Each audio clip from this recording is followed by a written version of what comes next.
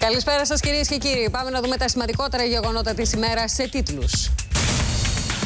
Ο τρόμος των τζιχαντιστών στην καρδιά των Ηνωμένων Πολιτειών. Επίθεση με τσεκούρι από ακραίο Ισλαμιστή εναντίον αστυνομικών στη Νέα Υόρκη.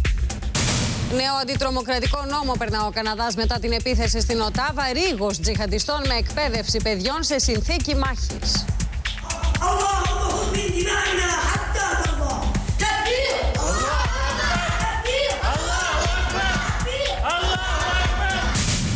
Χάος στην Αττική από την Αεροποντή, ποτάμια οι δρόμοι, γολγοθάς για τους οδηγούς. Κακοκαιρία σε όλη τη χώρα, σταμάτησαν οι εργασίες στην Αμφίπολη.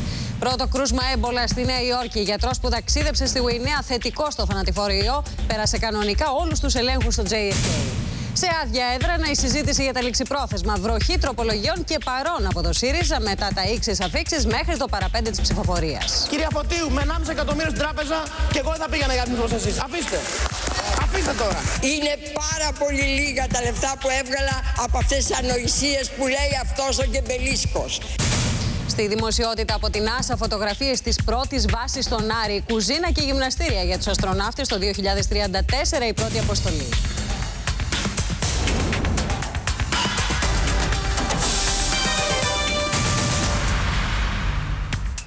Αμέτρητα προβλήματα έχει προκαλέσει, κυρίες και κύριοι, από το πρωί κακοκαιρία σε πολλές περιοχές της χώρας. Στο λεκανοπέδιο, δρόμοι, σπίτια και μαγαζιά πλημμύρισαν από την πολύ ωρή καταιγίδα, με τις μεγαλύτερες καταστροφές να εντοπίζονται στη δυτική Αττική. Στο περιστέρι, οδηγοί εγκλωβίστηκαν μες στα αυτοκίνητά τους που παρασύρονταν από τα νερά, λες και ήταν ψεύτικα. Ενώ μεγάλες καταστροφές έχουμε στην ευρύτερη περιοχή του Πειραιά, με τα νερά μάλιστα σε κάποια σημεία να είναι τόσο ορμητικά που προκάλεσαν καραμπόλες αυτοκινήτων και κατέστρεψαν περιουσίες. Προβλήματα από τις νεροποντές και τους θυελώδεις ανέμους είχαμε και σε πολλές άλλες περιοχές της χώρας. Πάμε να δούμε πώς έχουν τα πράγματα αναλυτικά. Ξεκινάμε όμως εδώ από την Αττική που έχουμε τα σοβαρότερα προβλήματα. Ο Δημήτρης Δαμιανός είναι στη Νίκη, ο Δημήτρης Καραστεφανής είναι στο Περιστέρι. Δημήτρη Δαμιανέ, ξεκινάμε από σένα να μας δώσεις την εικόνα στο σημείο που βρίσκεσαι. Καλησπέρα, Σία. Πρόκειται για μια βιβλική καταστροφή. Δεν υπάρχουν άλλα λόγια για να περιγράψουμε αυτό το οποίο ε, ζήσαμε εδώ πέρα όταν ήρθαμε για να καλύψουμε αυτό το γεγονός. 20 με 30 αυτοκίνητα περίπου. Ε, το ένα πάνω στο άλλο. Τρίτο αυτοκίνητο πάνω σε δύο αυτοκίνητα. Ε, σε συνολικό ύψος 3 με 4 μέτρα από το έδαφος. Μέσα στα σπίτια έμπαινε νερό. Μέσα στε, υπήρξαν, κινδύνεψαν ανθρώπινες ζωές. Ευτυχώς δεν υπήρξε κανένα απολύτως πρόβλημα. Είμαστε συμβολή των οδών ε, 25 Μαρτίου και ε, ναι, Δημήτρη, σε ακούμε. Βαλαωρίτου. Ναι. Ζητώ ναι, ναι. συγγνώμη, δεν ξέρω. Ναι. Ε, το, ε, το νερό έπεφτε με τέτοια ορμή, μας περιέγραψαν οι άνθρωποι εδώ πέρα, που ε, τα, παρέσυρε αυτοκίνητα από την κορυφή του κατηφορικού δρόμου προς τα κάτω έπεσε ε, μέσα σε σπίτια με τέτοια ορμή που έσπασε τα τζάμια, έσπασε πόρτες. Ε, Μας περιέγραψαν σκηνικά όπως μια γυναίκα η οποία ήταν μέσα στο αυτοκίνητό της, το παράτησε εκείνη την ώρα για να πάει να σώσει τα δύο της μωρά τα οποία βρίσκονταν μέσα στο σπίτι και υπήρξε κίνδυνος για τη ζωή τους. Και αυτό το οποίο μας τόνισαν οι άνθρωποι εδώ πέρα, Ασία, τα φρεάτια. Τα φρεάτια τα οποία είναι τέσσερα όλα και όλα σε αυτό το δρόμο, δύο πάνω, δύο κάτω και ήταν όλα τους βουλωμένα. Είδαμε ανθρώπους οι οποίοι προσπαθούσαν με τα ίδια τους τα χέρια να ξεβουλώσουν τα φρεάτια, με τη βοήθεια βέβαια ε, ε, της πυροσβεστικής και της αστυνομίας που έσπευσε εδώ στο σημείο. Ε, ήρθε εδώ επίσης, πρέπει να σου πω, και η Περιφερειάρχης Αττικής, η κυρία Ρένα Δούρου, η οποία είπε ότι δεν είναι ώρα για έργα, ε, για λόγια, αλλά για έργα και να στηρίξουμε τους ανθρώπους αυτούς. Και μάλιστα τους είπε ότι μπορούν να μείνουν απόψε στην περιφέρεια. Άνθρωποι οι οποίοι ε, ε, ήρθαν εδώ από μακριά αντικρίζοντας τις περιουσίες τους κατεστραμμένες, έπεφταν κάτω, ξέσπουσαν σε δάκρυα και είπαν μάλιστα και στην κυρία Δούρου όταν ήρθε ε, ότι έχουν μεγάλη ανάγκη τη στήριξη των αρχών. Δημήτρη, εμείς την ίδια στιγμή ε, παρακολουθούμε, παρακολουθούμε, με συγχωρείς για να περιγράψω την εικόνα, τους χήμαρους που δημιουργήθηκαν νωρίτερα το μεσημέρι ακριβώς στο σημείο στο οποίο βρίσκεσαι. Είναι η οδός Βαλαωρίτου, είναι στην περιοχή της Νίκαιας σε τίποτα δεν θυμίζει εικόνα πόλης αυτό που βλέπουμε. Το μόνο που προδίδει ότι είναι εικόνα πόλης είναι τα αυτοκίνητα τα οποία έχουν καλυφθεί από τα ορμητικά νερά. Ο δρόμος έχει μετατραπεί στην κυριολεξία σε ποτάμι. Ε, βλέπουμε πώς τα νερά αγγίζουν τους πρώτους ορόφους των πολυκατοικιών και το αποτέλεσμα είναι να, να, να μεταφερθούν από αρκετά μακρινή απόσταση αυτοκίνητα, να στριμωχτούν στο σημείο που βρίσκεσαι εκεί ακριβώς στη γωνία και να σχηματίσουν μικρούς πύργους. Αυτό είναι ένα ερασιτεχνικό βίντεο, μας το έστειλε κάτοικος της περιοχής. Συνεχίζουμε να παρακολουθούμε πλάνα εμείς από το ίδιο σημείο. Αυτοκίνητα το ένα πάνω στο άλλο, τροχόσπιτα όπως βλέπουμε, μηχανές. Όλα αυτά μαζί έχουν πέσει πάνω σε σπίτια και μαγαζιά. Συγκλονιστικές εικόνες. Είναι πραγματικά ε, συγκλονιστικό όλο αυτό. Εγώ πραγματικά δεν έχω ξαναδεί κάτι τέτοιο, όχι μόνο μέσα στο λεκανοπέδιο της Αττικής, αλλά Και κόσμος, με συγχωρείς Δημήτρη, γιατί βλέπουμε πολλά τέτοια πλάνα, να, να καθαρίζει με τα χέρια του τα φρεάτια. Και πρέπει να σου πω επίσης, Σία, ε, ότι ε, ευτυχώς αυτή τη στιγμή δεν βρέχει. Γιατί από τις 8 μέχρι τις 8 και 4 που έριξε και πάλι πολύ έντονη βροχόπτωση, εκείνη την ώρα πλημμύρισε σε τέτοιο σημείο ο δρόμος αυτός που δεν μπορούσαμε πραγματικά να βγούμε στον δρόμο. Δεν ήταν αδύνατον, πραγματικά. Χρειαζόσουν κανό. Το λέω ε, επί το λαϊκότερων για να καταλάβουμε ακριβώς ποιο ήταν το μέγεθος. Δεν μπορούσαν να περάσουν ε, ε, ούτε καν τα αυτοκίνητα, πόσο μάλλον οι άνθρωποι. Καταλαβαίνεις λοιπόν τι ακριβώς συνέβη όταν το πρωί η βροχή αυτή ήταν για πάρα πολλές ε, ώρες συνεχόμενες, έβρεξε πάρα πολύ έντονη βροχόπτωση και ε, ο δρόμος αυτός ε, είχε ε, πάρα πολύ μεγάλο πρόβλημα. Βλέπ, δεν ξέρω αν βλέπετε αυτή τη στιγμή ΣΥΑ με τη βοήθεια του συναδέλφου του Παναγιώτη του Λουρωτού τους ε, κατοίκους να παίρνουν, να προσπαθούν να πάρουν τα αυτοκίνητα με τα ίδια τους τα χέρια, με τα χέρια ναι. και να τα σπρώξουν προς το βάθος του δρόμου. Πρέπει να σου πω ότι απελπισμένοι άνθρωποι εδώ ζητούσαν τη βοήθεια της τροχέας ε, και της πυροσβεστικής, η οποία βέβαια υπήρχε εδώ στο σημείο, αλλά από ό,τι μπορούσαμε κι εμείς να πληροφορηθούμε, είχε τόσες κλήσεις σε όλη την Αθήνα και τον Πειραιά ε, και η πυροσβεστική και η τροχέα που πραγματικά ε, η, η δυνατότητα να, να απομακρυνθούν όλα αυτά τα αυτοκίνητα ε, από τη μία στιγμή στην άλλη ε, ήταν πάρα πολύ περιορισμένη και γι' αυτό το λόγο οι ίδιοι οι κάτοικοι οι οποίοι είχαν τις περιουσίες τους κατεστραμμένες και πραγματικά δημιουργήθηκε ένα χάος. Εφιαλτική. Λοιπόν, Δημήτρης, σε διακόπτω ε, και πάλι για να δούμε τώρα μία, μία φωτογραφία. Τη βλέπετε τώρα κυρίες και κύριοι στις οθόνες σας που μας έστειλε πριν από λίγο ο τηλεθεατής μας από τον Πειραιά. Είναι σκοτάδι, ωστόσο στο κέντρο του δέκτη σας μπορείτε να διακρίνετε έναν ανεμοστρόβιλο. Ανεμοστρόβιλος λοιπόν πριν από λίγο στον Πειραιά η φωτογραφία ε, έχει πάρθει από την καρδιά του Πειραιά. Βλέπετε λοιπόν πόσο έντονα ήταν ε, σήμερα τα καιρικά φαινόμενα ε, και μας λένε άνθρωποι εκεί της περιοχής ότι κάτι τέτοιο δεν έχουν ξαναδεί. Δημήτρη Δαμιάνε, πίσω σε σένα. Πράγματι, ήταν, ε, φαντάζομαι, οι εικόνες οι οποίες βλέπετε είναι πραγματικά εικόνες καταστροφής. Ε, βέβαια η βροχή ήταν για πάρα πολύ μεγάλο χρονικό διάστημα το πρωί εδώ στην περιοχή του Πειραιά. Αντιλαμβάνουμε πως από τη στιγμή που δημιουργήθηκε και αεμοστρόβιλος ε, ήταν ίσως το πιο έντονο φαινόμενο το οποίο έχει, έχουμε ζήσει στο λεκανοπέδιο της Αττικής τα τελευταία χρόνια. Όμως πρέπει να σου πω Σία ότι από ό,τι μας λένε οι κάτοικοι εδώ το ίδιο πράγμα έχει, είχε γίνει και πέρσι, πιο περιορισμένα βέβαια, χωρίς να αναποδογυρίσουν αυτοκίνητα να μπουν νερά στα σπίτια μέσα και ούτω καθεξής. Αλλά και πριν από 10 και 15 χρόνια έχει γίνει πάλι το ίδιο πράγμα, ακριβώς στο ίδιο, στον ίδιο δρόμο, ακριβώς στη συμβολή των ίδιων οδών, εδώ στην Νίκαια. Και για το λόγο αυτό ζητούν από τις αρχές, ε, βέβαια ε, οι κάτοικοι είναι σε μια απόγνωση. Είναι λογικό απόλυτα αυτή τη στιγμή που έχουν δει τις περιουσίες τους να καταστρέφονται να ε, ζητούν τα, ε, πώς, ε, από όλους την ε, αμέριστη μια αποκατάσταση και μια υποστήριξη, πόσο μάλλον που τα έχουν ξαναζήσει αυτά στην περιοχή τους. Τους βλέπουμε, Δημήτρη. Είναι διαρκώς το πλάνο εκεί πάνω στους ανθρώπους και τα αναποδογυρισμένα αυτοκίνητα να είναι συγκεντρωμένοι. Άλλοι, επειδή βλέπουν τις περιουσίες τους σε αυτό το χάλι, και άλλοι βεβαίως παραμένοντας ανήσυχοι για το τι επιφυλάσσει η νύχτα. Λοιπόν, να φύγουμε από τον Πειραιά, από την Νίκαια, να μεταφερθούμε τώρα στο περιστέριο που βρίσκεται ο Δημήτρης Καραστεφανής και εκεί είχαμε σκηνές πανικού Δημήτρη νωρίτερα το απόγευμα. Πες μας, ποια είναι η κατάσταση. Λοιπόν, αυτή την κατάσταση τη βλέπετε τώρα αυτή τη στιγμή με πολίτες ε, που έχουν καταστραφεί οι περιουσίες τους, τα αυτοκίνητά τους. Περισσότερα από 30 ήταν τα αυτοκίνητα που μέτρησα εγώ ε, αναποδογυρισμένα και το ένα πάνω στο άλλο. Βλέπετε ότι εδώ αυτή τη στιγμή έχει παραμείνει μόνο ένα, τα έχουν πάρει τα περισσότερα. Οι πολίτες αυτή τη στιγμή που είναι συγκεντρωμένοι συνομιλούν με τον κύριο Ντινόπουλο, τον Υπουργό Εσωτερικών που ήρθε πριν από λίγα λεπτά, προκειμένου να ενημερωθεί ή ακόμη ακόμη να τους πει και τι μέτρα μπορεί να πάρει η κυβέρνηση για την ανακούφιση. Και τώρα βλέπουμε τα λοιπόν, πλάνα από την περιοχή περιοχή ακριβώς που βρίσκεσαι, Δημήτρη, πριν από λίγο, ε, οι εικόνες που μας περιγράφεις. Καρμπών. Έτσι. Ό,τι βλέπουμε στον Πειραιά στην Νίκαια, βλέπουμε και στο περιστέρι αυτή τη στιγμή. Αναποδογυρισμένα αυτοκίνητα. Μόνο βλέπουμε εδώ και την επιχείρηση α, που έγινε νωρίτερα για την απομάκρυνσή τους. Ναι. Δεν ξέρω αν θέλετε να μιλήσω στον κύριο Α, είναι και ο κύριος Δινόπουλο. Ε, τον... ναι. Κύριε Δινόπουλε, κύριε Δινόπουλε, επειδή είμαστε στον αέρα, μία κουβέντα μπορούμε να πούμε. Είμαστε στον αέρα με την κυρία Κοσιόνη. Ενημερωθήκατε εδώ από τους πολίτες. Τι σας είπανε; Ενημερώθηκα και μάλιστα ενημερώθηκα σε μια κατάσταση οργής. Ε, πράγματι είναι ένα σοβαρό πρόβλημα. Πράγματι είναι ένα σοβαρό πρόβλημα. Διότι όπως βλέπετε, αν πάτε εκεί πέρα, είναι, έχουν εκτιστεί σπίτια πάνω σε παζωμένα ρεύματα.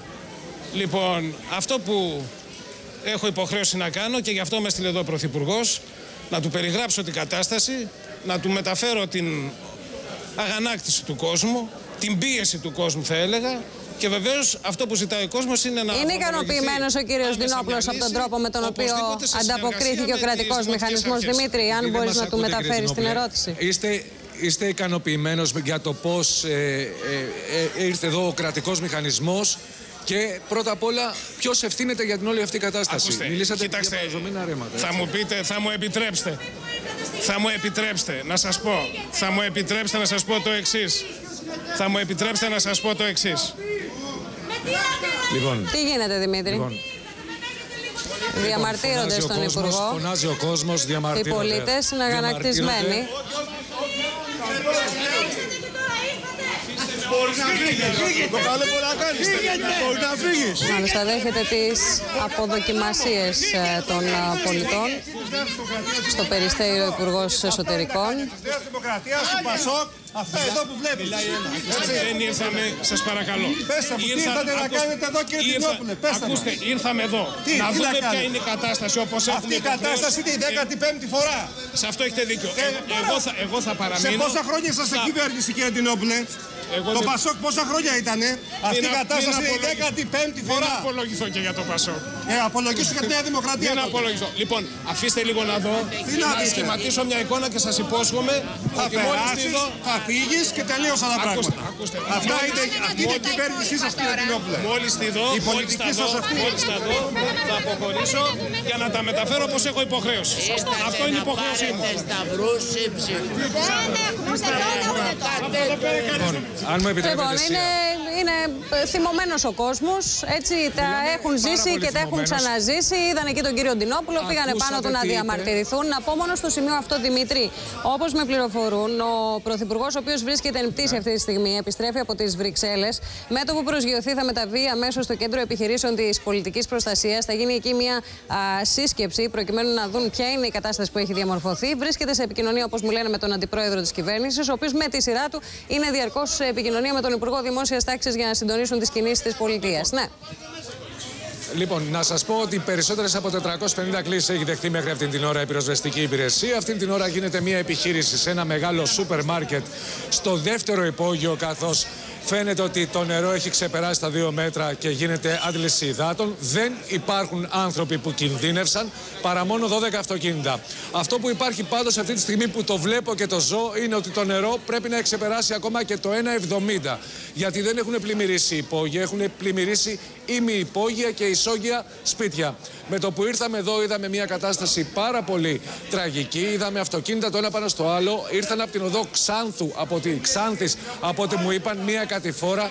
Βλέπετε ότι οι πολίτες εδώ προσπαθούν να πούνε αυτό που θέλουν στον Υπουργό Ιστορικών που έφτασε πριν από λίγα λεπτά. Ακούσαμε ε, τώρα αυτή τη στιγμή φεύγει με τη βοήθεια κάποιων ανθρώπων που είναι αντιδήμαρχοι και κάποιων δημοτικών συμβούλων και κάποιων πολιτών. Να σας πω ότι επικρατεί ένας αναβρασμός. Ήδη τα αυτοκίνητα, ήδη τα αυτοκίνητα έχουν ε, φύγει με γερανούς, έχουν φύγει ε, έτσι ώστε σε κάποιο άλλο σημείο για να δουν τι ζημιές υπάρχουν.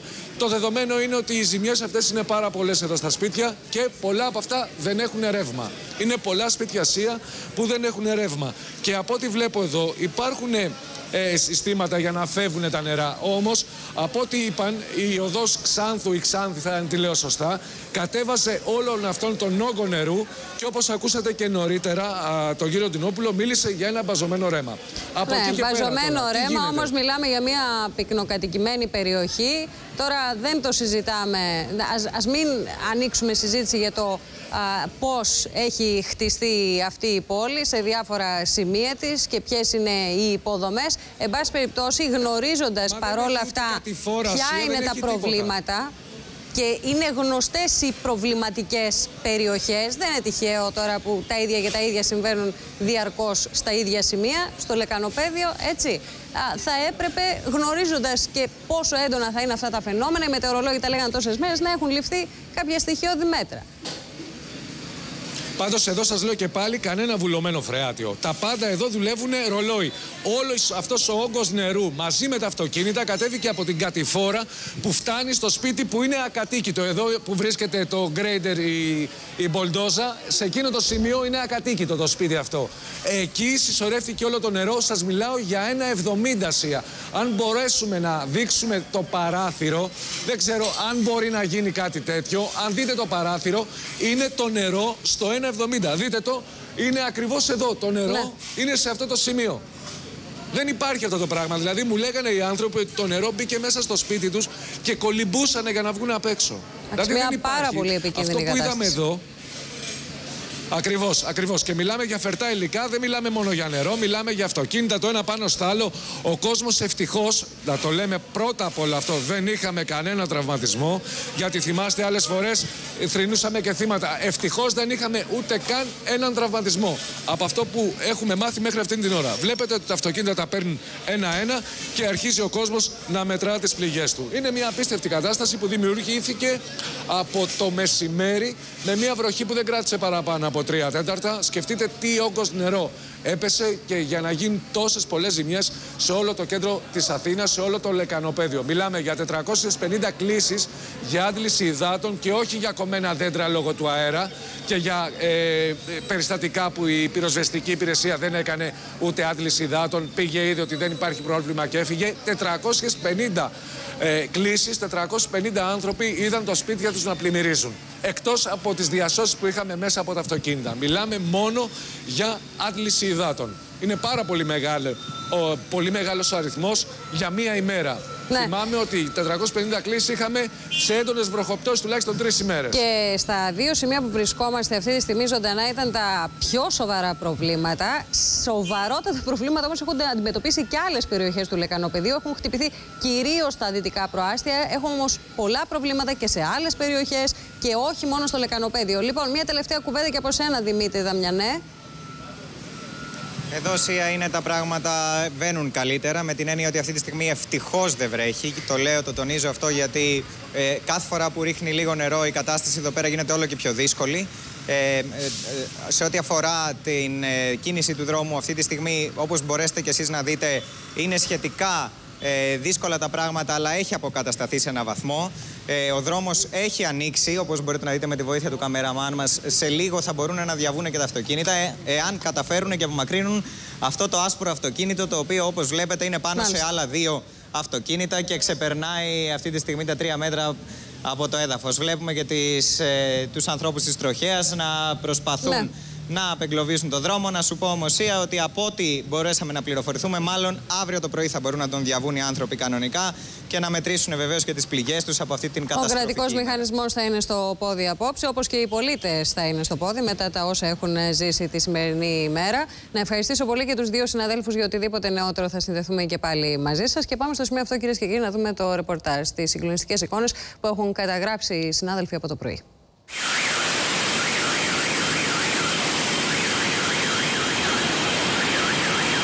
Θεομηνία. Οι δρόμοι στην παλιά κοκκινιά έχουν μετατραπεί σε ορμητικά ποτάμια με το νερό να παρασέρνει τα πάντα στο πέρασμά του, κάνοντας τα αυτοκίνητα που σκεπάζονται από τόνους νερού να μοιάζουν σαν παιδικά παιχνίδια. Είχε πλημμυρίσει μέχρι πάνω, βγαίναν όλα τα αυτοκίνητα τα στενά και όπως βλέπετε εδώ από το πάρκινγκ της πολυκατοικίας έσπασε την πόρτα και τράβηξε όλα τα νερά κατεβάζοντας τα κάτω. Στην 25η Μαρτίου στην Νίκαια η εικόνα των αναποδογυρισμένων αυτοκινήτων θυμίζει βομβαρδισμένο τοπίο με τους κατοίκους περιοχής να βρίσκονται σε απόγνωση. Μας καταστρέψαν, μας έχουν... δεν καθαρίζονται φράτη, ούτε τίποτα δεν κάνουν. Μόνο λεφτά να μας ζητάνε. Οι ιδιοκτήτες των αυτοκινήτων ψάχνουν στα τυφλά μέσα στα οχήματά τους αναζητώντας έγγραφα ενώ προσπαθούν να συνειδητοποιήσουν το κακό που τους βρήκε. Σπίτια και επιχειρήσεις πλημμύρισαν με το ύψος των υδάτων να ξεπερνάει το ένα μέτρο. Τα αμάξια φύγανε και το ένα πάνω στο άλλο εκεί. Οι αποθήκες κάτω, το νερό είναι μέχρι το ισόγειο. Λόγω της βροχής προκλήθηκε κυκλοφοριακό κομφούζιο στους δρόμους του Πειραιά αλλά και στο κέντρο της Αθήνας, με τους οδηγούς να αγανακτούν μέχρι να φτάσουν στο προορισμό τους. Τα έντονα καιρικά φαινόμενα το Σάββατο θα περιοριστούν στα βόρεια και ανατολικά του νομού και μέχρι το βράδυ θα εξασθενήσουν. Την Κυριακή θα επικρατήσουν βοριάδες στο Αιγαίο και η θερμοκρασία θα σημειώσει πτώση. Στο σταθμό του μετρό στο Σύνταγμα σημειώθηκε διακοπή ρεύματος διάρκειας ενός λεπτού με αποτέλεσμα να σταματήσουν να λειτουργούν οι ηλεκτρικές σκάλες. Με τα τρένα όμως να μην αντιμετωπίζουν κανένα πρόβλημα στα δρομολόγια τους. Ω μηχανισμό εξέβρεσης υπαρίθμων, υπεραρίθμων προς απόλυση. Το ρεύμα διακόπηκε για λίγα λεπτά και στην Βουλή την ώρα που το λόγο είχε ο βουλευτής του ΣΥΡΙΖΑ Αλέξης Μητρόπουλος, ο οποίος συνέχισε την ομιλία του χωρίς να έχει αντιληφθεί την διαφορά στο φωτισμό. Τα 50 κλιμάκια της πυροσβεστικής υπηρεσίας δέχτηκαν περισσότερες από 450 κλήσεις για αντλήση υδάτων από κατοίκους στο Εγάλεο, το Κερατσίνι, το Ήλιον, την Νίκαια, ενώ χρειάστηκε να απεγκλωβίσει οδηγούς από τη Λεωφόρο Θιβών και στην οδό Κύπρου στο Μενίδη. Οι ισχυροί άνεμοι που έπληξαν τη Θεσσαλονίκη προκάλεσαν ζημιές στην εξέδρα των επισήμων για την παρέλαση της 28η Οκτωβρίου. Η τέντα και η μοκέτα των επισήμων σηκώθηκε και οι άνδρες του στρατού προσπάθησαν σήμερα να τις αποκαταστήσουν. Τα έντονα καιρικά φαινόμενα ανάγκασαν ακόμη και τους αρχαιολόγους που εργάζονται στην Αμφίπολη να σταματήσουν τις εργασίες που πραγματοποιούν στον Τύμβο, καθώς δεν μπορεί να γίνει αποχωμάτωση από το εσωτερικό του μνημείου. Στη Λαμία, ο ισχυρός άνεμος ξερίζωσε μία λεύκα και κλαδιά δέντρων που έπεσαν μπροστά από το κλειστό γυμναστήριο. Ενώ στη Λιβαδιά, ο ισχυρός άνεμος παρέσυρε καλώδια της ΔΕΗ με αποτέλεσμα να προκληθούν διακοπές ρεύματος. Σοβαρά προβλήματα προκάλεσαν οι θυελώδεις άνεμοι και στο νότιο Πήλιο και ειδικά στο χωριό της Αφίσου, όπου τα κύματα έσπασαν μεγάλο μέρος από το μουράγιο. Την ίδια ώρα και πολύ νωρίτερα από πέρσι ξεκίνησαν τα χιόνια στα ορεινά της χώρας, καθώς το έστρωσε στα Γρεβενά, τη Βασιλίτσα, το Μιτσικέλι, τα Μαστοροχώρια, το Δίστρατο, το Ανήλιο, ακόμη και στον Παρνασό. Κυρίες και κύριοι, θα επιστρέψουμε στο θέμα αν χρειαστεί. Τώρα εκτοξεύουν τα επίπεδα συναγερμού στη Δύση τα απανοτά κρούσματα επιθέσεων φιλοτζιχαντιστών. 2-24 ώρα μετά την πρωτοφανή επίθεση στο Κοινοβούλιο του Καναδά, ένας άνδρας που είχε ασπαστεί το Ισλάμ επιτέθηκε με τσεκούρι εναντίον ομάδας αστυνομικών στη Νέα Υόρκη, τραυματίζοντας δύο από αυτούς πριν ο ίδιος πυροβοληθεί από άλλους αστυνομικούς και πέσει νεκρός. Παγκόσμια ανησυχία την ίδια στιγμή προκαλεί η αύξηση των προπαγανδιστικών βίντεο τζιχαντιστών με στόχο να προσιλητήσουν στους κόλπους τους περισσότερους περισσότερου δυτικού πολίτε. Ενώ σοκ προκαλούν σήμερα οι νέε εικόνε που κάνουν το γύρο του κόσμου μικρών παιδιών που διδάσκονται από τζιχαντιστέ πώ να σκοτώνουν. Θα τα δούμε λοιπόν όλα αναλυτικά. Πάμε πρώτα να παρακολουθήσουμε τι συνέβη στη Νέα Υόρκη.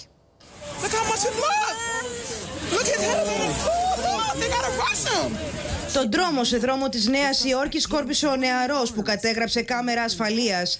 Ήταν δύο το μεσημέρι της Πέμπτης όταν ομάδα αστυνομικών πραγματοποιούσε περιπολία σε δρόμο του Queens. Την ώρα που δύο από αυτούς πόζαραν για να βγάλουν φωτογραφία, εμφανίστηκε ξαφνικά ένας νεαρός με ένα τσεκούρι στο χέρι. Χωρίς να προλάβουν να αντιδράσουν, ο δράστης τους επιτέθηκε χτυπώντας τον ένα στο δεξί χέρι και τον δεύτερο στο κεφάλι.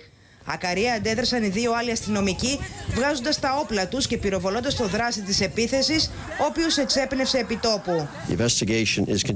Η έρευνα συνεχίζεται. Αυτή είναι η φωτογραφία από το όπλο που χρησιμοποιήθηκε στην επίθεση. Πρόκειται για ένα μεταλλικό τσεκούρι 18,5 ιντσών. Οι δύο αστυνομικοί μεταφέρθηκαν στο νοσοκομείο και νοσηλεύονται, ενώ η κατάσταση του ενός που τραυματίστηκε στο κεφάλι χαρακτηρίζεται κρίσιμη. Από τους πυροβολισμούς τραυματίστηκε και μια 29χρονη γυναίκα. Μια 29χρονη γυναίκα που ήταν περαστική τραυματίστηκε από αδέσποτη σφαίρα χαμηλά στην πλάτη. Μεταφέρθηκε στο νοσοκομείο και υπευλήθη σε εγχείρηση, ενώ η κατάστασή της είναι σταθερή. Σύμφωνα με την αστυνομία και το Αμερικανικό Κέντρο Παρακολούθησης Ισλαμιστικών Ιστοσελίδων, ο δράστης είναι ο 29χρονο Ζάλε Τόμσον, ο οποίος ήταν υποστηρικτής του Τζιχάντ. Υπηρετούσε στο Αμερικανικό Ναυτικό, αλλά απολύθηκε για πειθαρχικούς λόγους. Τον περασμένο μήνα φέρεται να έχει ανεβάσει σε Ισλαμιστική ιστοσελίδα βίντεο που εμφανιζόταν να δηλώνει ότι η Τζιχάντ είναι μια δικαιολογημένη αντίδραση στην καταπίεση των Σιωνιστών και των Σταυροφόρων. Ενώ στο προσωπικό του λογαριασμό στο Facebook έχει φωτογραφία προφίλ έναν άνδρα ο οποίος έχει καλυμμένο το πρόσωπό του με μαντίλι, ενώ ως φωτογραφία εξοφίλου έχει κείμενο στα αραβικά. Σε ύψιστο συναγερμό όμως παραμένει για τρίτη μέρα και η πρωτεύουσα του Καναδά μετά τη φωνική επίθεση στο Κοινοβούλιο. Η αστυνομία έδωσε σήμερα στη δημοσιότητα ένα βίντεο που καταγράφει καρέ-καρέ το θανάσιμο παραλήρημα του 32χρονου τζιχαντιστή λίγο πριν πέσει νεκρός από τους αστυνομικούς. Ο Μάικλ Ζεχάφ Μπιμπό έχει μόλις πυροβολήσει θανάσιμα έναν στρατιώτη στο μνημείο πεσόντων πολέμου στην Οτάβα. Στη συνέχεια, με την απειλή του όπλου, αρπάζει το σταθμευμένο αυτοκίνητο ενός υπουργού και κατευθύνεται στο κοινοβούλιο. Όταν η αστυνομία αντιλαμβάνεται το συμβάν, αρχίζει το ανθρωποκυνηγητό. Ο ύποπτος καταφθάνει στην κύρια είσοδο, βγαίνει από το όχημα και εισβάλλει στο κτίριο. Λίγα δευτερόλεπτα αργότερα αρχίζει η σφοδρή ανταλλαγή πυρών.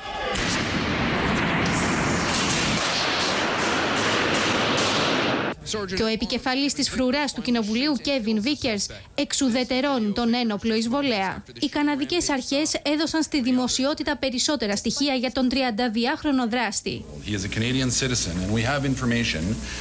Είναι Καναδός υπήκος. Έχουμε πληροφορίες ότι πιθανόν να έχει και υπηκότητα Λιβύης. Γεννήθηκε στο Μόντρεαλ και ζούσε στο Βανκούβερ. Σύμφωνα με την αστυνομία, ο Μπιμπό δεν συμπεριλαμβανόταν στη λίστα με τους 93 Καναδούς υψηλής επικινδυνότητας που είχαν πρόθεση να ταξιδέψουν στο εξωτερικό. Ωστόσο, είχε κάνει αίτηση για έκδοση διαβατηρίου και σκόπευε να ταξιδέψει στη Συρία. Σύμφωνα με ορισμένες μαρτυρίες, ήταν ένα άτομο που πιθανόν να είχε ακραίες ιδεολογικές πεπιθήσεις. Ο Μάικλ Ζεχάφ Μπιμπό βρισκόταν στην Οτάβα από τις 2 Οκτωβρίου. Είχε μείνει σε καταφύγιο αστέγων για τουλάχιστον μία εβδομάδα πριν από την επίθεση. Έλεγε ότι πρέπει να προσευχόμαστε πέντε φορές την ημέρα επειδή πλησιάζει το τέλος του κόσμου.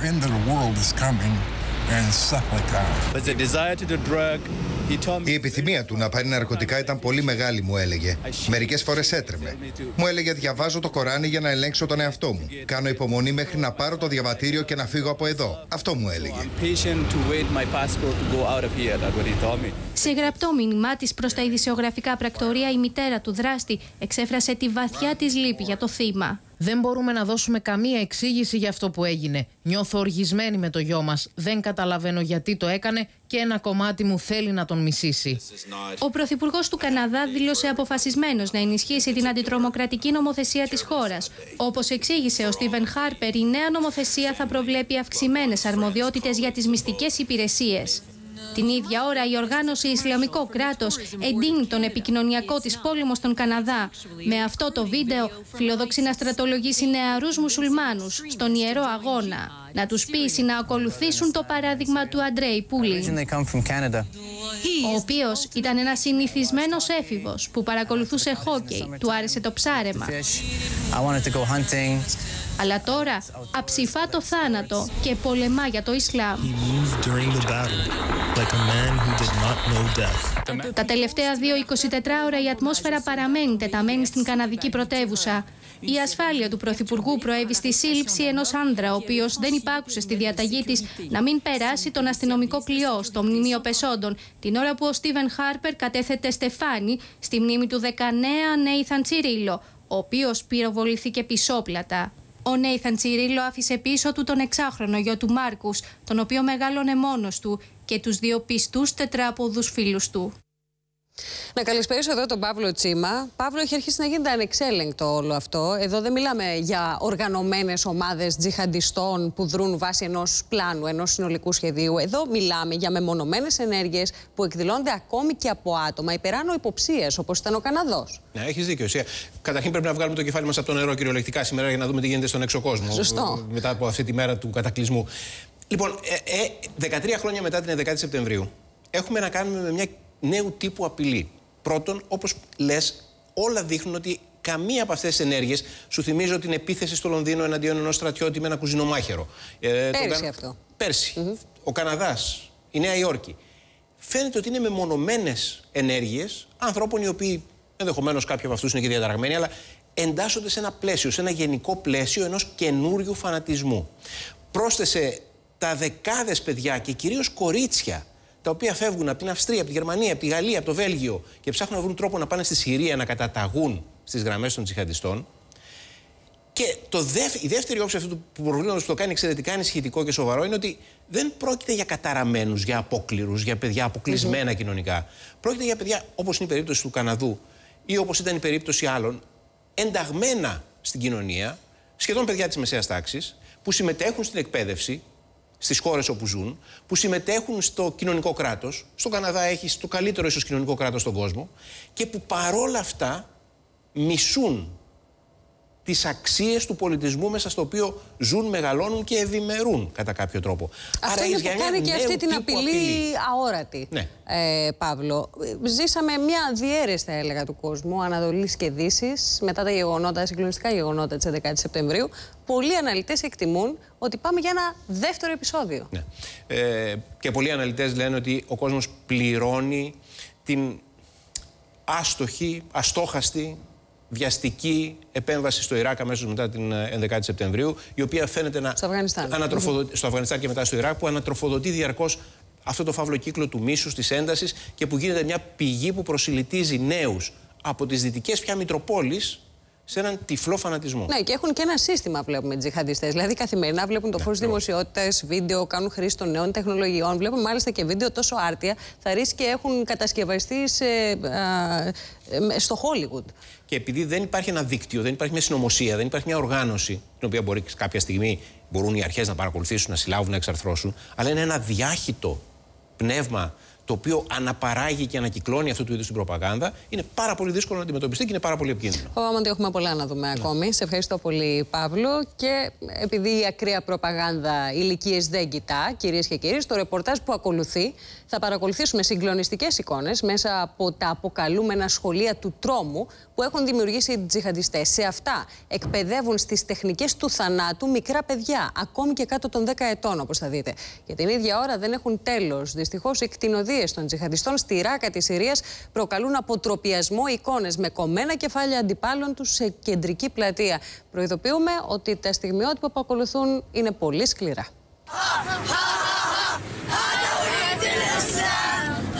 Το σχολικό του τρόμου έφτασε. Μέσα από αυτό βγαίνουν μικρά παιδιά με άσπρες φανέλες και μαύρες κουκούλες. Στοιχίζονται στρατιωτικά και παραλαμβάνουν όπλα, σφαίρες, ακόμα και ρουκετοβόλα.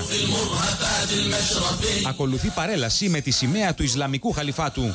Πρόκειται για το σχολείο των τζιχαντιστών, το οποίο παρουσιάζεται σε βίντεο που ανέβασαν στο διαδίκτυο. Αγόρια, ακόμα και κάτω των 10 ετών, διδάσκονται πώς να σκοτώνουν. Εκπαιδεύονται στις πολεμικές τέχνες στον αφοπλισμό του εχθρού, στον ανορθόδοξο πόλεμο, στη σκοποβολή.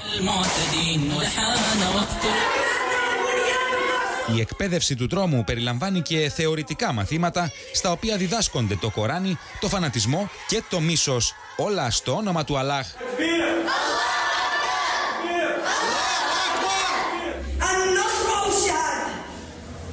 Σε άλλο απόσπασμα, παιδιά οπλισμένα σαν αστακοί με πολυβόλα και χειροβομβίδες στέλνουν τρομοκρατικό μήνυμα μανιφέστο.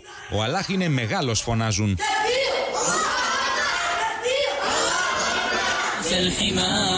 Όσοι αριστεύουν στη Φρίκη χρησιμοποιούνται ως ελεύθεροι σκοπευτές, όπως αυτό το μικρό παιδί που κρατά πυροβόλο όπλο εφοδιασμένο με διόπτρα για χειρουργική εξουδετέρωση μακρινών στόχων.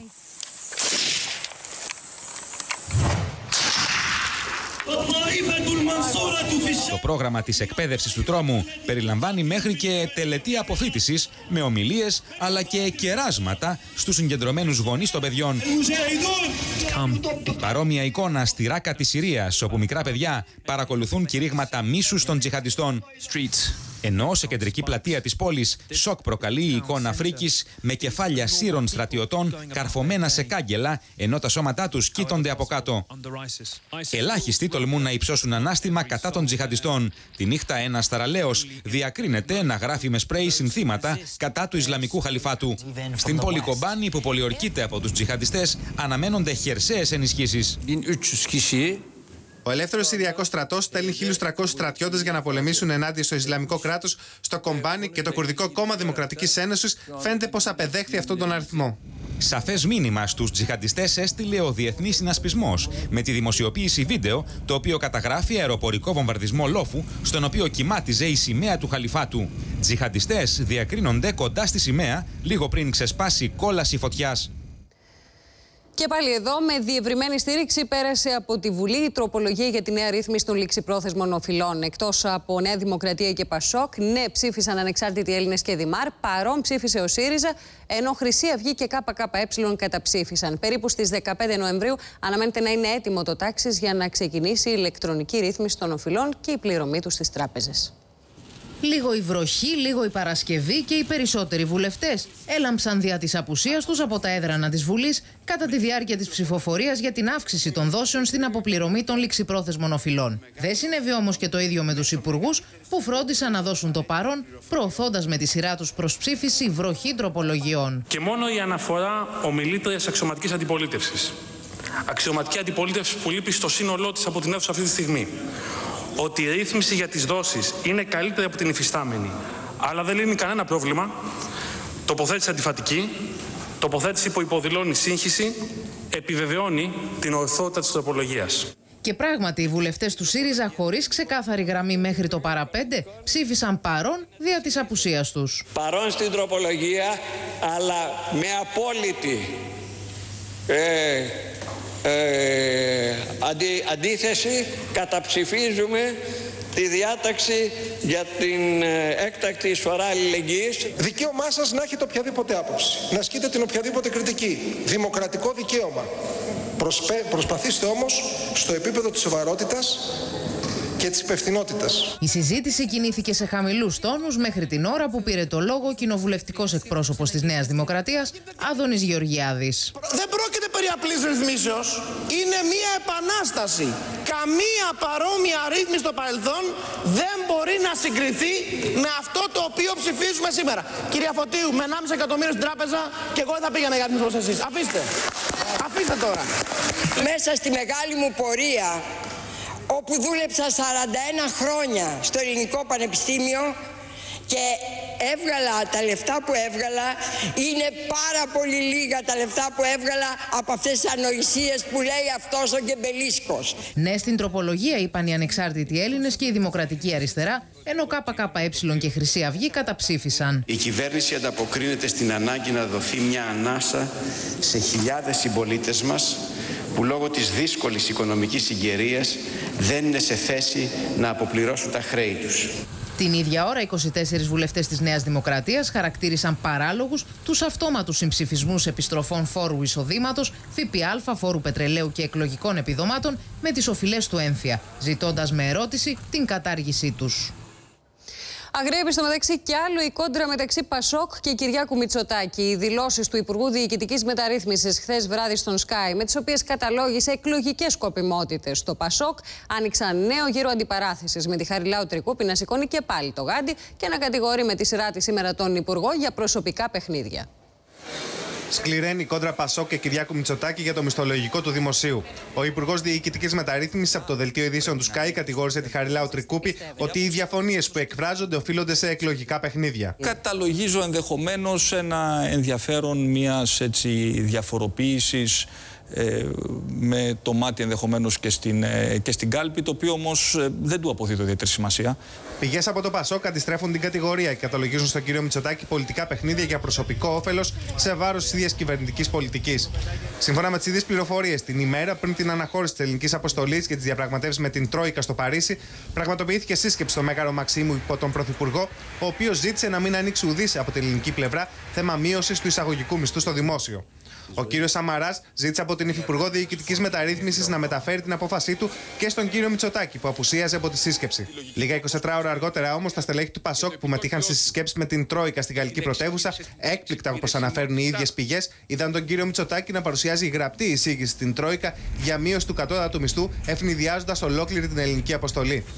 Το εκρηκτικό κλίμα με αφορμή το μισθολόγιο του Δημοσίου έχει μεταφερθεί και στο εσωτερικό των δύο κοινοβουλευτικών ομάδων. Κύριος Βενιζέλος και όλοι αυτοί που έχουν αυτού του είδους τη λαϊκιστική πασοκαριακή νοοτροπία μόνο ενδιαφέρονται για το δημόσιο και αδιαφορούν πλήρως για τον ιδιωτικό τομέα. Θα υποστηρίξουμε μεταρρυθμίσεις που έχουν πραγματικό περιεχόμενο και εντάσσονται στο συνεχτικό σχέδιο της κυβέρνησης για μια αποτελεσματική διαπραγμάτευση και έξοδο από την κρίση και όχι προσωπικές πολιτικές υπουργών που απευθύνονται σε ειδικά ακροατήρια που εμάς δεν μας αφορούν. Από το κεντρικό δελτίο ειδήσεων του Σκάι, ο Υπουργός Διοικητικής Μεταρρύθμισης διευκρίνησε ότι από τους υπαλλήλους που θα απολυθούν επειδή δεν πληρούσαν τα κριτήρια του Προεδρικού Διατάγματος Παυλόπουλου, δεν θα ζητηθεί να επιστρέψουν τους μισθούς που έλαβαν, αποσπώντας και τα συγχαρητήρια του Αλέξη Μητρόπουλου από τον ΣΥΡΙΖΑ. Και το λέω για πρώτη φορά και το λέω και, και δημόσια ότι ναι, η επίπτωση στον υπάλληλο θα εξαντλείται με την, ε,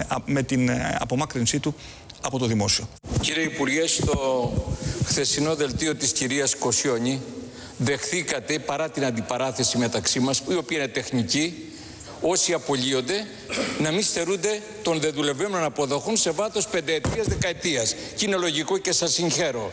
Σαμαράς και Βενιζέλος αναμένεται ότι θα έχουν και νέα συνάντηση, πιθανότατα την προσεχή εβδομάδα, για να συζητήσουν αποκλειστικά το θέμα του δημοσίου. Να σταθούμε κυρίες και κύριοι στην κόντρα που έχει ξεσπάσει ανάμεσα στο Πασό και τον Υπουργό Διοικητικής Μεταρρύθμισης. Δημήτρη Τσιόδρα, καλησπέρα. καλησπέρα. Φαίνεται ότι αυτή η κόντρα αντί να πέφτουν οι τόνοι, αγριεύει. Και αγριεύει ενώ η κυβέρνηση δηλώνει ότι θέλει πάση θυσία να τελειώσει την αξιολόγηση με την Τρόικα καλά. Ε, δεν είναι η πρώτη φορά που έχουμε κόντρα ανάμεσα στο Πασόκ και την ε, Νέα Δημοκρατία τα δύο προηγούμενα χρόνια. Ειδικά όταν τίθεται ζήτημα δημοσίου, έχουμε σύγκρουση. Το Πασόκ θέλει να εμφανίζεται ως ο προστάτης Άγιος του Δημοσίου, παρότι οι πιστοί βεβαίως έχουν μετακομίσει για αλλού και από ό,τι δείχνουν οι δημοσκοπήσεις είναι πολύ πολύ χαμηλά και στους δημοσίους υπαλλήλους.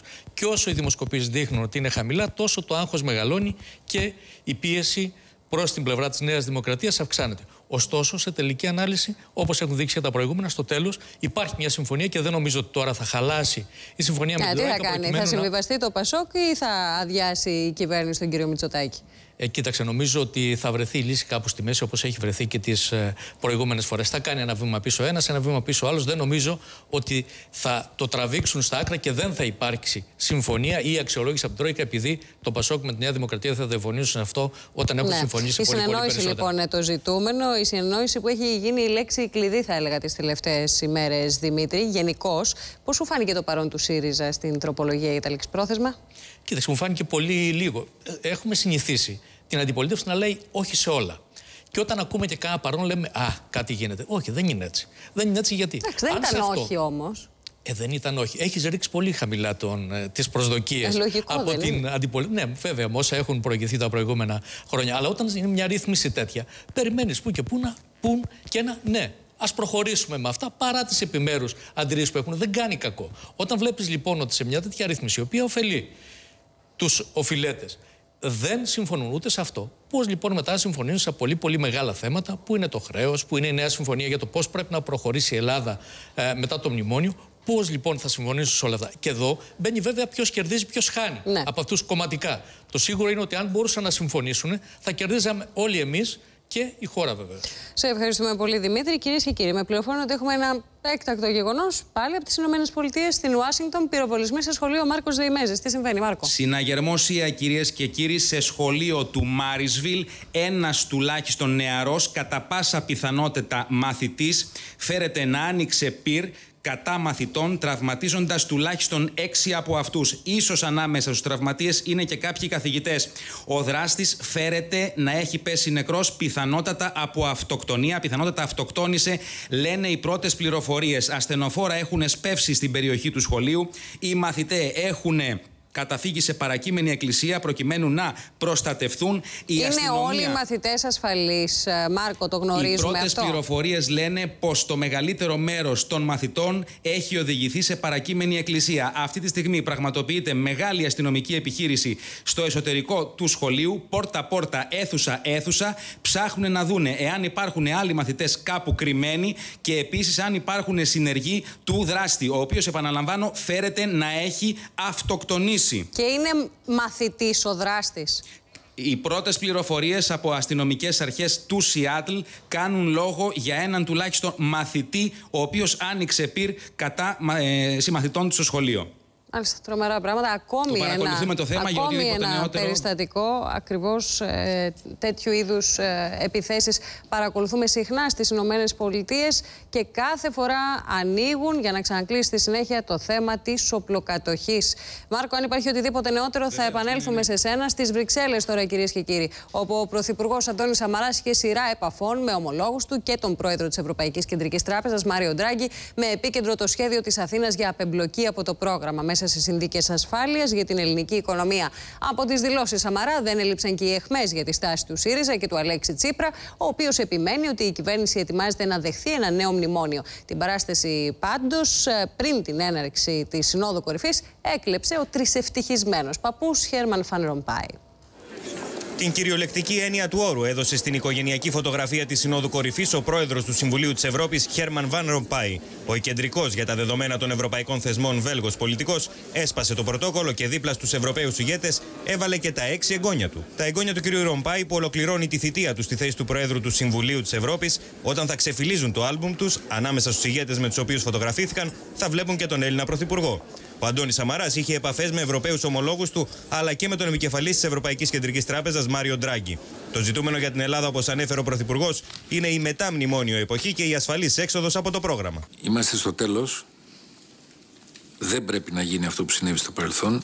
Πολλές φορές το γνωρίζω θα πρέπει να τελειώσει μέχρι το Δεκέμβριο και θα τελειώσει μέχρι το Δεκέμβριο. Και ενώ ο Αλέξης Τσίπρας βλέπει νέο μνημόνιο, ο Παναγιώτης Λαφαζάνης μέσω του ΣΚΑΙ κάνει λόγο και πάλι για κατάργηση των μνημονίων με δημοκρατικές διαδικασίες. Εμείς με δημοκρατικό τρόπο, όχι σε μία νύχτα ναι. και με πραξικοπήματα. Θα ακυρωθεί το μνημόνιο, κύριε Γρηγοράκο. Πάρτε το απόφαση. Θα ακυρωθεί με νόμο, με δημοκρατικό τρόπο mm. από τη Βουλή, με, με συζητήσεις που θα γίνουν ε, με βάση τον κανονισμό και το Σύνταγμα. Ο Αντώνης Σαμαράς επέριψε στο ΣΥΡΙΖΑ την ευθύνη της πολιτικής αστάθειας που εκπέμπει η χώρα στους δανειστές και τις αγορές. Βλέπω μια απόλυτη άρνηση και το μόνο το οποίο μπορεί κανείς να κάνει είναι κάθε τόσο να προσπαθεί να αποκρυπτογραφεί ή να ακτινογραφεί τις διάφορες συνιστώσεις αυτής της άρνησης από και πέρα, να το πω και πάλι όπως το αισθάνομαι, όπου στρώσει θα κοιμηθείς.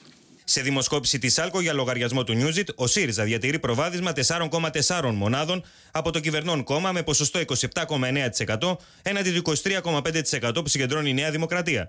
Τρίτο κόμμα είναι η Χρυσή Αυγή με 5,4% και ακολουθούν το Ποτάμι με 4,5%, το Κομμουνιστικό Κόμμα Ελλάδος με 4,3%, το Πασόκ με 4%, ενώ οι αναποφάσει ανέρχονται στο 12,7% των ερωτηθέντων.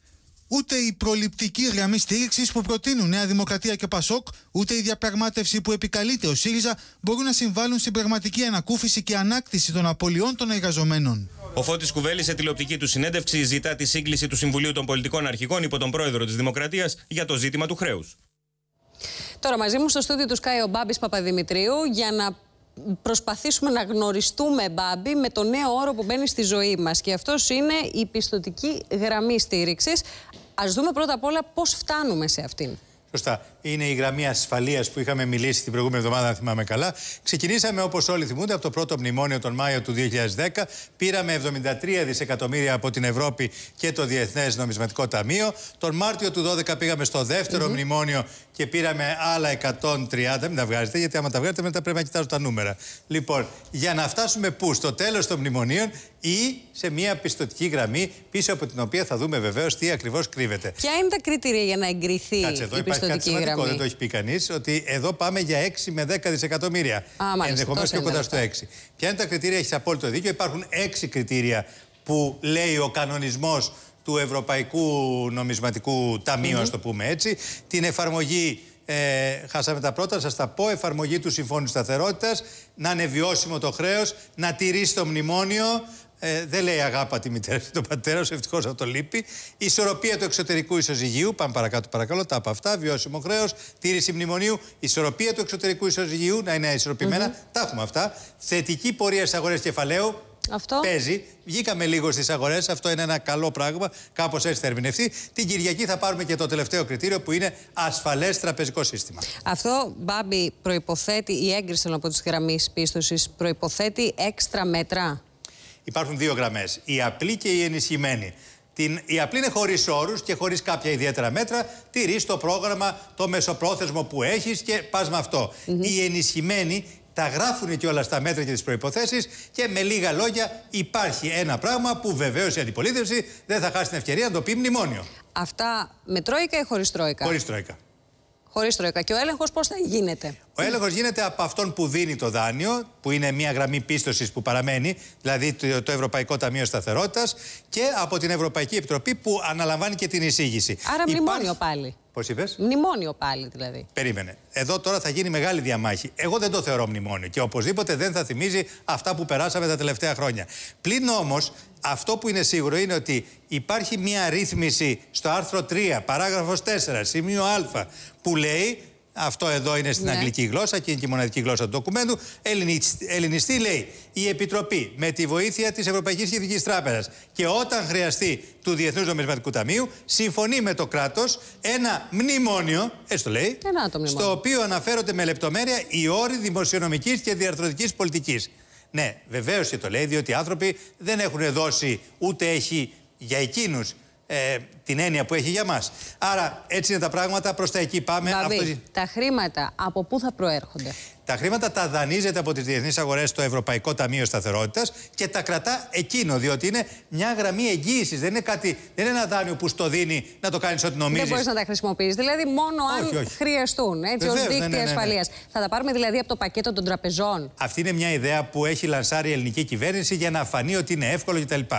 Νομίζω ότι το πρακτικά θα γίνει μια ξεχωριστή συνεννόηση με το Ταμείο και με την Ευρωπαϊκή Επιτροπή. Απλώς η κυβέρνηση λέει υπάρχουν τα λεφτά, διότι ξέρουμε τώρα ότι δεν θα χρησιμοποιηθούν για τις τράπεζες. Και με το τωρινό μνημόνιο τι θα γίνει τελικά; Τα μνημόνια τελειώνουν. Αυτό πρέπει να το συμφωνήσουμε. Τελειώνει 31 Δεκεμβρίου και πιστεύω ότι αν όχι τον πρώτο μήνα, μέσα στο πρώτο τρίμηνο του επόμενου έτους θα τελειώσει και το μνημόνιο με το Διεθνές Νομισματικό Ταμείο. Πάμε για Μάρτιο λοιπόν. Ε, ναι, βέβαια, δεν, δεν τα προλαβαίνουν όλα. Θα έχει όμως κάποιος Σαμαρά να πορεύεται στον προπολογισμό. Πάμπη, σε ευχαριστούμε Εγώ. πολύ. Κυρίες και κύριοι, σοβαρή ανησυχία σχετικά με τις νέες εντάσεις στην Ανατολική Μεσόγειο εκφράζει μέσω των συμπερασμάτων του το Ευρωπαϊκό Συμβούλιο, καλώντας την Τουρκία να σεβαστεί την κυριαρχία της Κύπρου στα χωρικά της ύδατα και στα κυριαρχικά δικαιώματά της στην αποκλειστική οικονομική ζώνη της, προειδοποιώντας παράλληλα ότι η αναγνώριση όλων των κρατών μελών αποτελεί απαραίτητη συνιστόσα της διαδικασίας ένταξης μια χώρα στην Ένωση. Το παρασκήνιο ήταν έντονο. Τον Κύπριο πρόεδρο εκπροσώπησε ο Αντώνης Αμαράς, ο οποίος μάλιστα είχε και φραστικό επεισόδιο με τον Βρετανό ομόλογο του Ντέιβιτ Κάμερον. Την ξεκάθαρη καταδίκη των τουρκικών προκλήσεων πέτυχαν Αθήνα και Λευκοσία στο κείμενο των συμπερασμάτων του Ευρωπαϊκού Συμβουλίου. Οι Ευρωπαίοι εξέφρασαν σοβαρές ανησυχίες για τις νέες εντάσεις στην Ανατολική Μεσόγειο. Καλούν την Τουρκία να επιδείξει αυτοσυγκράτηση και να σεβαστεί την κυριαρχία της Κύπρου στην αποκλειστική της οικονομική ζώνη, αλλά και να τερματίσει τις ενέργειές της ώστε να δημιουργηθεί το κατάλληλο κλίμα για την επανέναρξη των απευθείας διαπραγματεύσεων επίλυσης του Κυπριακού. Η απόφαση αυτή είναι ιδιαίτερα σημαντική και ιδιαίτερα αυτή τη στιγμή. Και θέλω να είμαι ξεκάθαρος, δυναμώνει αυτή η απόφαση την εθνική μας στρατηγική, στρατηγική και της Ελλάδας και της Κύπρου, που αναδεικνύει ακόμα πιο δυναμικά αυτή την καταλητική σχέση των δύο χωρών που έχουμε με την Ευρωπαϊκή Ένωση. Υπενθύμησαν μάλιστα στην τουρκική κυβέρνηση πως εφόσον θέλει να ενταχθεί στην Ευρωπαϊκή Ένωση, πρέπει πρώτα απ' όλα να αναγνωρίσει την Κύπρο ως κράτος μέλος της. Δεν μπορεί μια χώρα να έχει φιλοδοξίες να γίνει κράτος μέλος της Ευρωπαϊκής Ένωσης χωρίς να αναγνωρίζει και τα 28 κράτη-μέλη της Ένωσης, δηλαδή και την Κυπριακή Δημοκρατία. Οι παρασκηνιακές διαβουλεύσεις έπιασαν κόκκινο όταν η Λευκοσία απείλησε χθες το απόγευμα να μην υπερψηφίσει τα συμπεράσματα της Συνόδου που αφορούσαν τις κυρώσεις στη Ρωσία αν δεν συμπεριλαμβανόταν η υποχρέωση της Τουρκίας να αναγνωρίσει την Κύπρο και άρα τα κυριαρχικά της δικαιώματα επί της αποκλειστικής οικονομικής ζώνης. Το βράδυ, ο Νίκος Αναστασιάδης εισήχθη σε νοσοκομείο των Βρυξελών με υψηλή πίεση. Αποφασίστηκε να τον εκπροσωπήσει στη Σύνοδο ο Έλληνας Πρωθυπουργός, ο οποίος παρουσίασε αυτόν το χάρτη με καταγεγραμμένες τις τουρκικές παραβιάσεις του Μπαρμπαρός εντός της Κυπριακής αποκλειστικής οικονομικής ζώνης. Ακολούθησε έντονη αντιπαράθεση μεταξύ του Αντώνη Σαμαρά και του Βρετανού ομολόγου του James Cameron. Επικράτησε ωστόσο η συλλογική αντίδραση στις προκλητικές τουρκικές ενέργειες.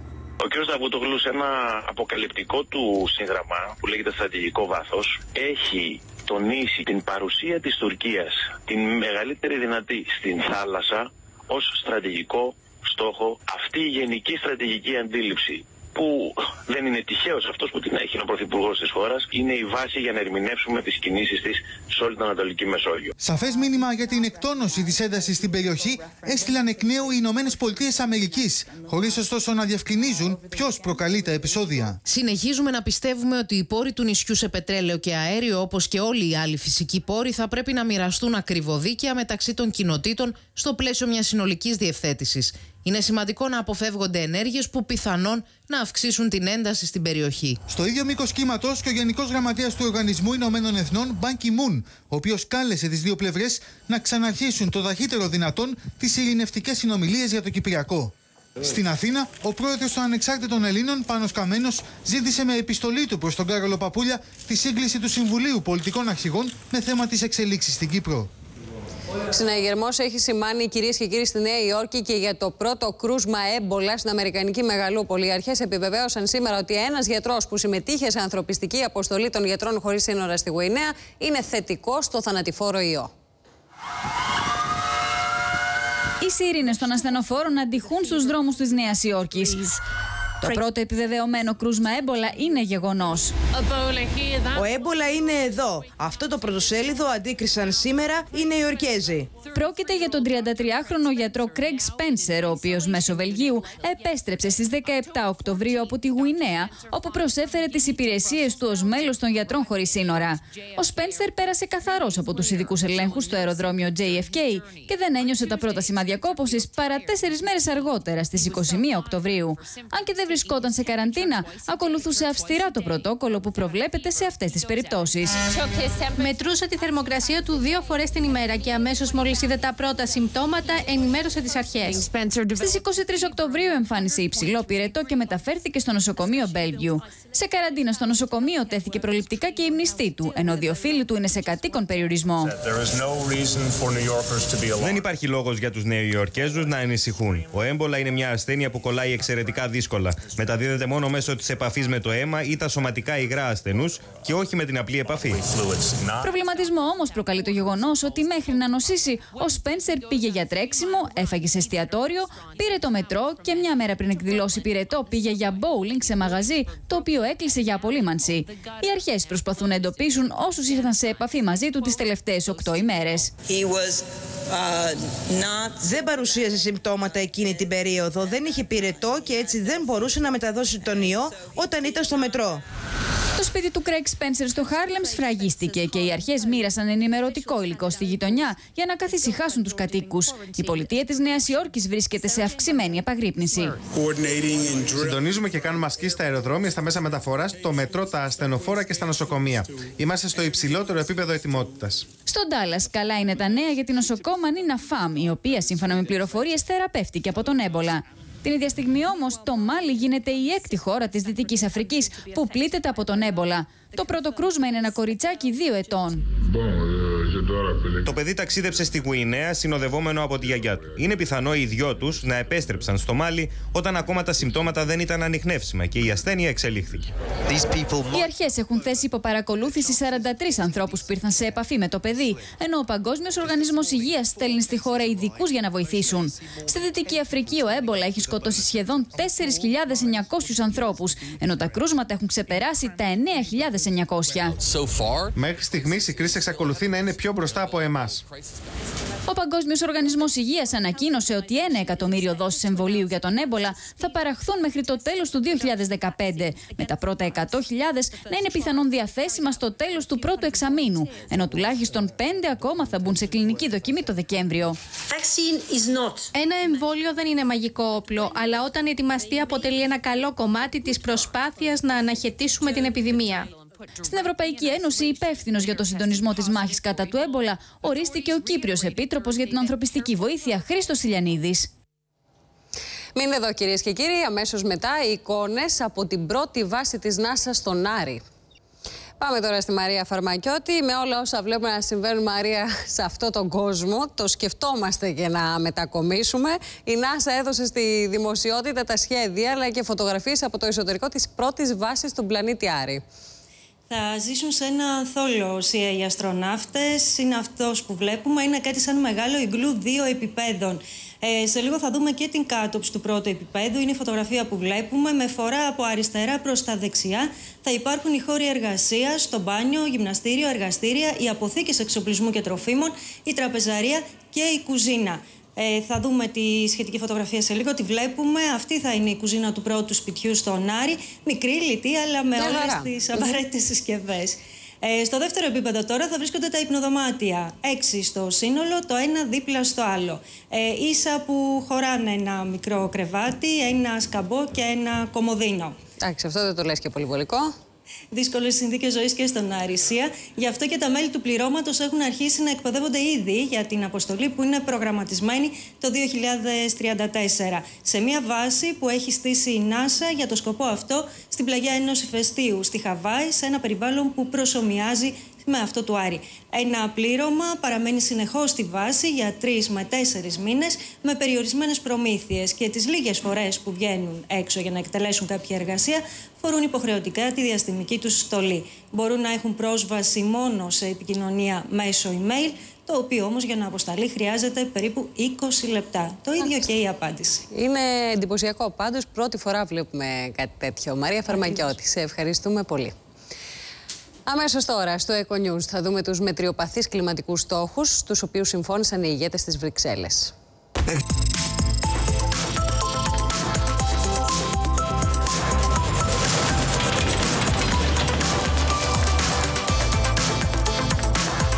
Καλησπέρα στον Κατερίνα Χρυστοφιλίδου. Καλησπέρα, Σία. Η κλιματική αλλαγή και το ενεργειακό μείγμα της Ευρώπης για την περίοδο 2020 έως και 30 ήταν στην ατζέντα της Συνόδου της Βρυξέλλες. Πού κατέληξαν λοιπόν, Κατερίνα, οι ηγέτες; Όπως όλοι λένε, σε ένα μεγάλο κλιματικό συμβιβασμό κατέληξαν οι ηγέτες της Βρυξέλλες, βάζοντας χαμηλά τον πύχη και υποχωρώντας σε σχέση με τις αρχικές τους προτάσεις, κατέληξαν σε μετριοπαθείς κλιματικούς στόχους που δεν διασφαλίζουν, σύμφωνα πάντα με τις επιστημονικές εισηγήσεις, ότι δεν θα αυξηθεί η μέση θερμοκρασία της γης και δεν θα έρθουν τα χειρότερα.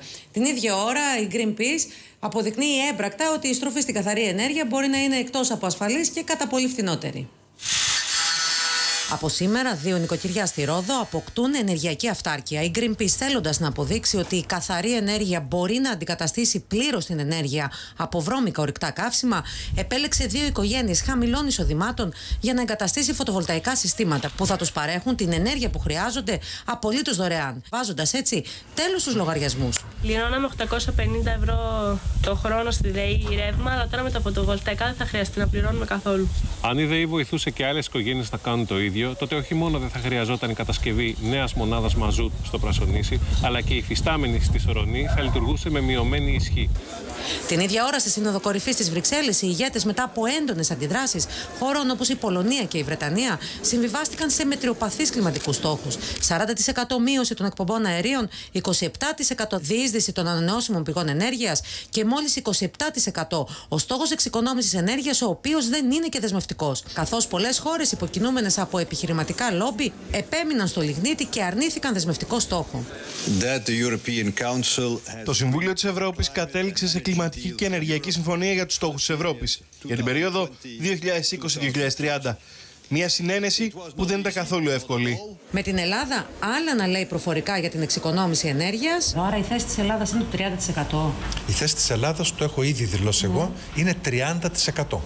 Υποχρεωτικός Υποχρεωτικός στόχος. Ναι.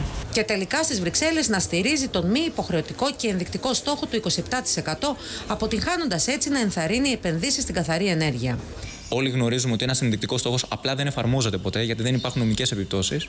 Εάν αυτή τη στιγμή θέλουμε να δούμε ποιο είναι το εθνικό συμφέρον για τη χώρα, θα το κάνει μόνο με τις επενδύσεις οι οποίες δημιουργούν περισσότερες θέσεις εργασίας, σημαίνουν περισσότερη ανταγωνιστικότητα, καλύτερη ανταγωνιστικότητα για την χώρα και σημαίνει επίσης μειωμένους λογαριασμούς ενέργειας για τον κόσμο. Παγωμάρα υπάρχει και στη διείσδυση ανανεώσιμων, κυρίως στα αιωλικά οι επενδύσεις στον τομέα της, των ΑΠΕ πραγματικά έχουν σταματήσει. Τα αιωλικά έχουμε φτάσει αυτή τη στιγμή 1600 περίπου ΜΒ με στόχο για την Ελλάδα το 2020 7.500. Πέρα από τη μη φιλόδοξη στάση της Ελλάδας, η οποία δεν αποτελεί και βασικό κλιματικό παίκτη, η Ευρώπη σαν σύνολο φαίνεται να επαναχωρεί, υιοθετώντας κλιματικούς στόχους που σύμφωνα με τους επιστήμονες δεν θα καταφέρουν να αποτρέψουν τα χειρότερα για το κλίμα. Και στις δράσεις μας, Κατερίνα, ανοίγει επίσημα η περίοδος των αναδασώσεων αυτή την Κυριακή, αρχής γενομένης με τυχείο. Ακριβώς την Κυριακή, 26 Οκτωβρίου, στις 10 το πρωί, ο ΣΚΑΙ, σε συνεργασία με την Αυτιλιακή Λέσχη Χίων, το Δήμο Χίου, τη Διεύθυνση Δασών του νησιού και το Ράδιο Αλήθεια, διοργανώνουμε όλοι μαζί μεγάλη αναδάσωση με 5.000 δέντρα στην περιοχή της Νέας Μονής Χίου. Η περιοχή που θα αναδασωθεί έχει καταστραφεί αρκετές φορές από πυρκαγιές και η τελευταία φορά ήταν το καλοκαίρι του 12. Σημείο συνάντησης για όσους βρίσκονται εκεί, η περιοχή Νέας Μονής Χίου.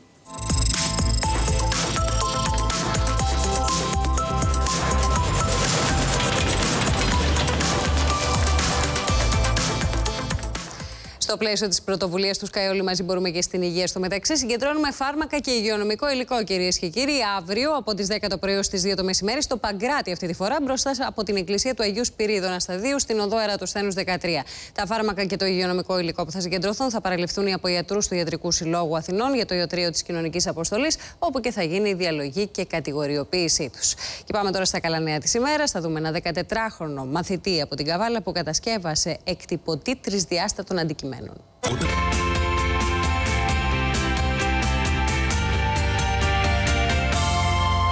Το θαυμασμό και τον καταιγισμό συγχαρητηρίων δέχτηκε ο 14χρονος Δημήτρης Χατζής για τον οικιακό εκτυπωτή τρισδιάστατων αντικειμένων που κατασκεύασε μόνος του. Ο μαθητής της τρίτης τάξης του 6ου Γυμνασίου Καβάλας απέσπασε το δεύτερο βραβείο στο 5ο Φεστιβάλ Βιομηχανικής Πληροφορικής που συνδιοργάνωσαν το Κέντρο Τεχνολογικής Έρευνας Ανατολικής Μακεδονίας Θράκης και το ΤΕΙ της περιοχής. Ο 14χρονο χρειάστηκε έναν χρόνο για να μελετήσει, να σχεδιάσει και να κατασκευάσει τον τριδιάστατο εκτυπωτή. Η αρχική του ιδέα ήταν να δημιουργήσει ένα βιονικό χέρι που θα αποτελούσε προέκταση του δικού του χεριού. Όταν όμως περιηγήθηκε στο ίντερνετ και αντιλήφθηκε ότι η αγορά των υλικών άγγιζε τα 1000 ευρώ, κατέληξε στον εκτυπωτή, το κόστος των υλικών του οποίου ήταν 500 ευρώ. Όλο το ποσό προήλθε από τις οικονομίες που έκανε στο χαρτζηλίκι που του έδιναν οι γονείς του, αλλά και τα χρήματα που συγκέντρωσε τις γιορτές από φιλικά πρόσωπα.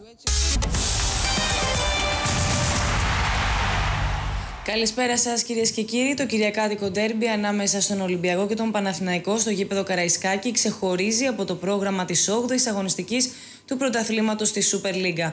Χθες οι πράσινοι απέσπασαν το βαθμό της ισοπαλίας από την Αιτχόφεν στην Ολλανδία, ενώ βαριά ήττα γνώρισε ο Αστέρας Τρίπολης από την Τότεναμ στο πλαίσιο της τρίτης αγωνιστικής των ομίλων του Europa League. Όρθιος έμεινε ο Παναθηναϊκός στην Ολλανδία. Οι πράσινοι με εξαιρετική τακτική και σωστά αντανακλαστικά αναδείχθηκαν ισόπαλοι 1-1 με την Αιτχόφεν και πήραν πολύτιμο βαθμό στην προσπάθεια που κάνουν για πρόκριση στην επόμενη φάση του Europa League. Ο Ντεπάη στο 44ο λεπτό άνοιξε το σκορ για τους Ολλανδούς, όμω ο Καρέλη που πέρασε ως αλλαγή στο 60 ισοφάρισε 3 λεπτά πριν τη λήξη. Πλέον στο μυαλό όλων βρίσκεται το Κυριακάτικο ντέρμπι με τον Ολυμπιακό του Καραϊσκάκης. Ο Γιάννης Αναστασίου θα στερηθεί των υπηρεσιών του Ντίνα, ο οποίος τραυματίστηκε στον αγώνα με την Αιτχόφεν. Αντίθετα, υπάρχουν πιθανότητες για συμμετοχή του Μέντες. Χωρίς προβλήματα συνεχίζεται η προετοιμασία του Ολυμπιακού, με τον Μίτσελ να προσανατολίζεται σε αλλαγές στην αρχική ενδεκάδα. Απότομα έπεσε από την πρώτη θέση του ομίλου Αστέρας Τρίπολης, ο οποίος γνώρισε βαριά ήττα με 5-1 από την Τότεναμ στο Λονδίνο και μείωσε κατά πολύ τις ελπίδες πρόκρισης στην επόμενη φάση του Europa League. Οι Αρκάδες στρέφουν το βλέμμα στον αγώνα με τον Όφη με στόχο να επιστρέψουν στις νίκες στο πρωτάθλημα. Συνοπτικά, το πρόγραμμα της 8η αγωνιστικής στη Super League. Το Σάββατο παίζουν Πας Γιάννα Καλονή, Λεβαδιακός Πανιόνιος και Ατρόμητος Εργοτέλης. Την Κυριακή Όφη Αστέρας Τρίπολης, Κέρκυρα Πλατανιάς, Πάο Κουβέρια και Ολυμπιακός Παναθυναϊκό. Η 8η αγωνιστική ολοκληρώνεται τη Δευτέρα με την αναμέτρηση Σκόντα Ξάνθη Νίκη Βόλου. Στη συνάντηση με την οποία άνοιξε η αυλαία της τρίτης αγωνιστικής της Football League, η ΑΕΚ επικράτησε με 2-0 των Χανίων στην Κρήτη. Τα γκολ για την Ένωση σημείωσαν οι Μάντελος και Κολοβέτσιος. Στις αγορές τώρα, ελαφρά υποχώρηση σήμερα, ελαφρά κέρδη, με συγχωρείτε, μικρά κέρδη για το Γενικό Δείκτη στην Αθήνα, υποχώρηση για τους σημαντικότερους ευρωπαϊκούς δείκτες. Ε, θετικά πρόσημα πριν από λίγο και στη Wall Street, στις συναλλαγματικές ισοτιμίες. Περνάμε κέρδη για το ευρώ έναντι δολαρίου και γεν, απώλειες για το αμερικανικό νόμισμα σε σχέση με το γεν. Στο αργό πετρέλαιο, μικρή πτώση για το West Texas, αμετάβλητη τιμή του Brent, αμετάβλητη και η τιμή του χρυσού.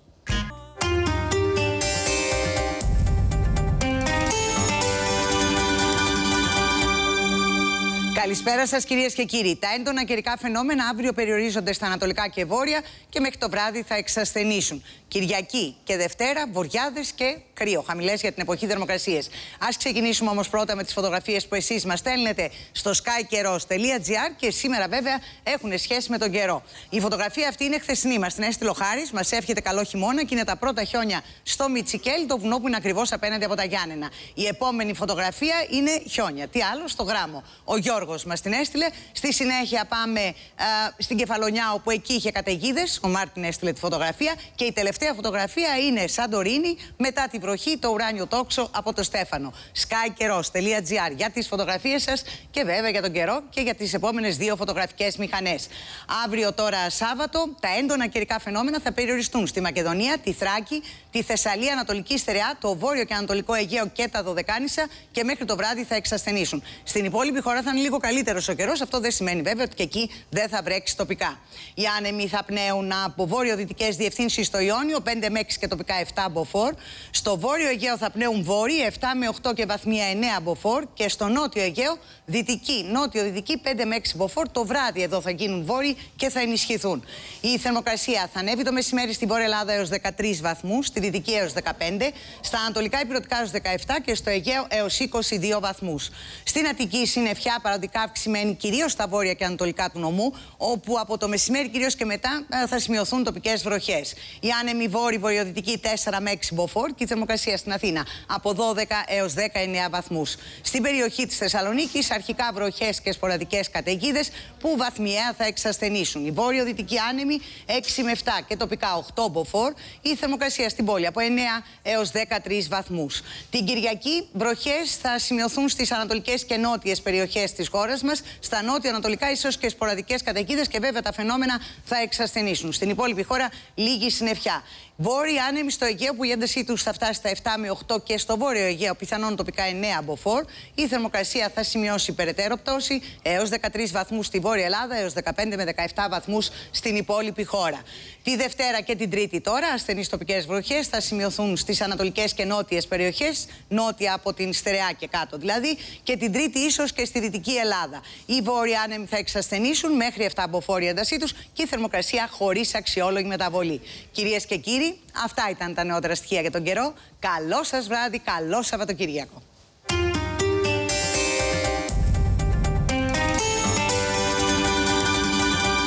Και εδώ κυρίες και κύριοι το δελτίο μας ολοκληρώθηκε. Το παρακολουθείτε καθημερινά live on demand και μέσα από την ιστοσελίδα μας sky.gr. Όλες οι εξελίξεις στη διάρκεια της ημέρας ανεβαίνουν στη σελίδα του Sky στο Facebook και στο λογαριασμό μας στο Twitter. Αμέσως τώρα η ξένη σειρά NCIS Los Angeles από όλους εμάς. Καλή σας νύχτα, καλό Σαββατοκύριακο να έχετε.